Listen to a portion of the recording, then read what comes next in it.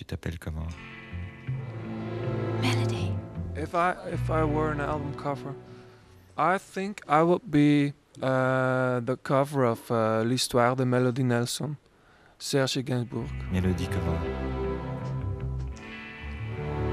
Melody Nelson. I love that record and I love the the album cover. I think I have like eight or nine copies of that.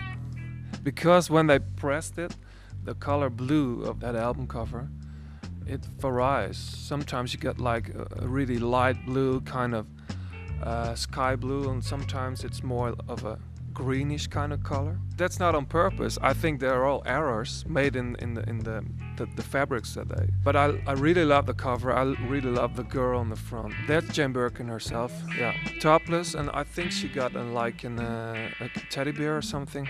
I would like to be that cover.